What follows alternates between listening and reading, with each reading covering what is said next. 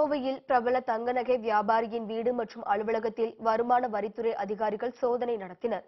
கோவை ராஜா வீதியைச் சேர்ந்த தங்க நகை வியாபாரி சாஜி கரம்சே தனது வங்கிக் கணக்கில் ஏழு லட்சம் ரூபாய் பணம் வைப்பு வைக்கப்பட்டதாக வருமான வரித்துறையினருக்கு ரகசிய தகவல் கிடைத்தது.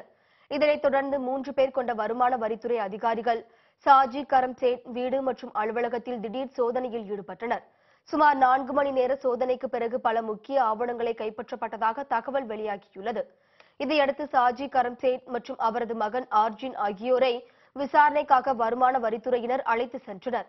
சமீபத்தில் சேகர் ரெட்டி மற்றும் முன்னாள் தலைமைச் செயலாளர் ராமமோகன் ராவ் வீடுகளில் வருமான வரித்துறை சோதனை நடத்திய நிலையில் கோவையில் தங்க நகை வியாபாரியிடம் சோதனை நடத்தியது பெரும் பரபரப்பை ஏற்படுத்தியது.